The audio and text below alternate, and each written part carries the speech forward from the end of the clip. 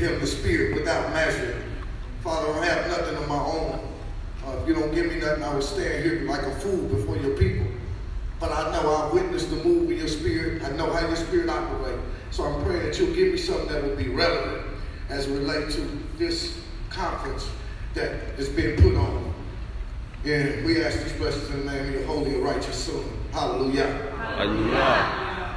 Uh, I got a couple of scriptures. This is going, we just going, whatever the Spirit do. They that worship the Most High must worship Him in spirit and in truth. For the Father seeketh such to worship Him. I heard that many times, but I never fully understood what it meant. Here's another scripture. Strong meat belongeth to them who by reason of use have their senses exercised to discern both good and evil. The sixth chapter of Hebrews. Therefore, let us leave the principles, the ABC principles of the doctrine of Christ, the laying on the hands, the baptism of things, and let us go on and grow to maturity, to greater things. This we will do if the Most High permits.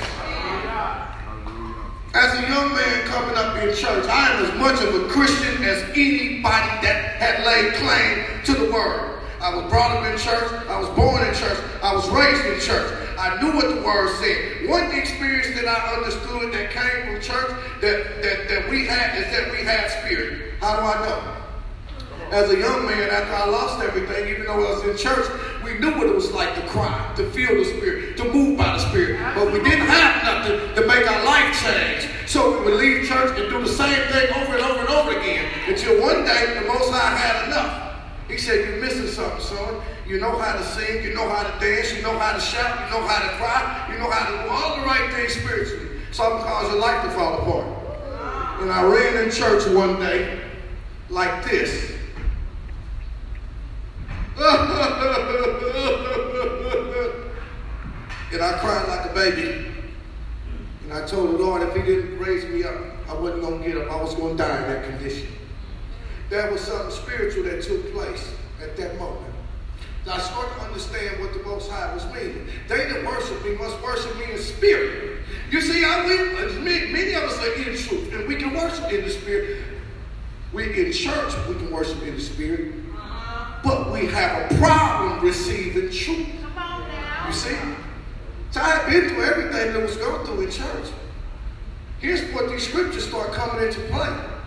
Okay, now the truth is, what is the truth? Thy righteousness in Psalms 119, verse 142. Thy righteousness is everlasting righteousness, and thy law is true. I understood that the law would build walls up and frame me and give me some sense of direction as to what to do, what not to do. That I didn't just keep saying, oh, Jesus, please have mercy on me and forgive me, and turn around and do the same thing over and over again and become a misuser of grace and then keep hanging the Messiah back up on the cross for the same reason. These things I understood as I came to church, just like many of the other brothers. Many of us have come out of church. What is that? I don't say that Christianity was something bad. According to Deuteronomy chapter 28, verse 64, and the Lord shall scatter thee from among all people, from one end of the earth to the other. There you shall serve other gods which would be represented by wood and by stone. There were constructs that the father's people, as they lost their heritage and lost their identity through slavery, would be sent into a land that they knew not and experience things and be totally separated completely from what they knew as a people. The ox knows his master, the jackass knows his master's grip. But my people, they don't know who they are. So when you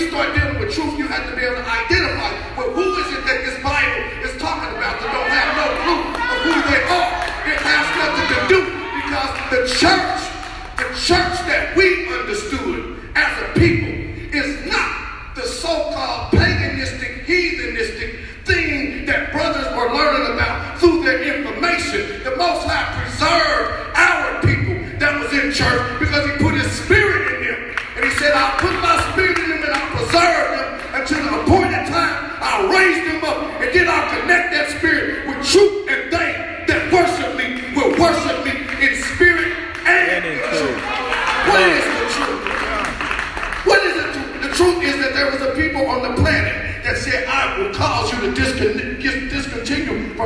I gave you, and you will serve your enemies in a land that know that you know not. What is the truth? The truth is the Messiah, Luke 21st chapter. And when you see these things happening, notice your destruction is near. You shall fall by the edge of the sword.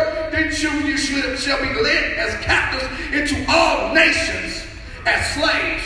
What is the truth? The truth is that, that you would go into slavery with slave ships and that you would be sold on auction blocks and no man would buy you. The truth is we would no knowledge. The truth is crafty counsel will be taken against a particular people on earth. They will forget that their name was Israel.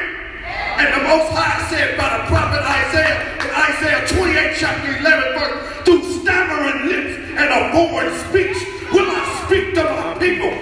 I don't care. You see, this is the truth. And these are some of the things that in the Christian church we learn how to worship in spirit. Right. But we had a problem receiving the rest of the truth that would connect us to who we were. Henceforth, it prompted us to this, and I'm going to go sit down. We say, Jesus or Yahshua sacrificed his life for our sins. Do we not? Ask yourself this question. Why did he do it? Because when you can deal with that question right there, you will understand that he sacrificed his life for people that have been completely disconnected from everything they had because they had purpose. What was the responsibility? Hmm. When they came out of Egypt, Exodus 18 chapter, verse 3 through 6, speak to the children of Israel. Tell them if they hearken and do my hearken to my word, diligent, they shall be to me a kingdom of priests unto all the nations.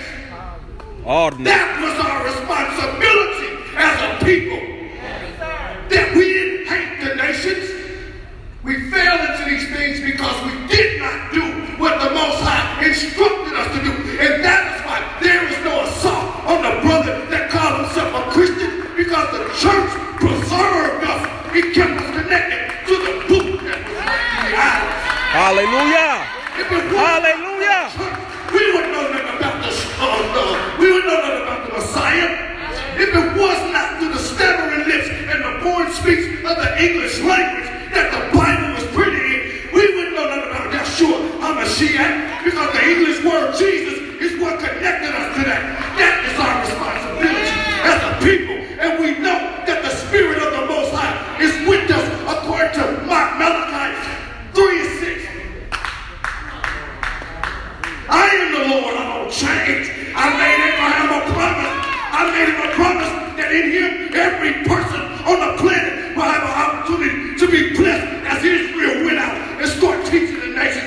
said, therefore, nobody will be able to sue us.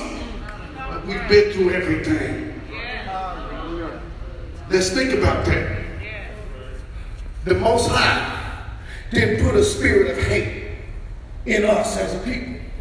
He put a spirit of righteousness in us as a people. And when you look at